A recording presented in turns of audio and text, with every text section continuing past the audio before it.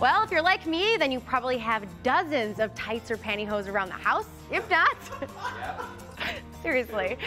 But if not, uh, they will only cost you a couple of dollars depending on the brand. So whether you wear them or not, they can be thrifty. Take a look. For starters, if you wear pantyhose, spray them with hairspray before wearing. This will help them last longer by preventing runs. But if you're too late for that, and you've already got a run or a hole, have no fear. Clear nail polish will help them last longer too. Simply dab a few drops of polish on the run. When the polish dries, it will stop the run from getting larger. Now for old pantyhose. Before you throw them away, recycle them. Cut off the foot part of the tights and use it to remove lint and pet fur from your clothing and furniture. You can also cut out small pieces of tights and use them as hair ties.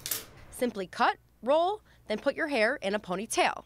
And while it's easy to get photo filters on many apps, you can make your own with tan tights. Wrap a piece of the material around your camera lens for a cool vintage look on your photos. Look, what a difference it makes. It softens the look. It's like a vintage kind of thing. I like it. And that lint brush idea. I mean, genius. Full of ideas. Another genius. another use you might not know about this, but pantyhose makes for a good makeshift do rag. Right, bring those waves go. out. Yeah, some of the OGs out there know what I'm Just talking don't leave the house with it on. Absolutely not, 'cause then you look like a bandit. Uh-oh. All right, do All we right, move there on you go. from There here? you have it. Thrifty Thursday, pantyhose.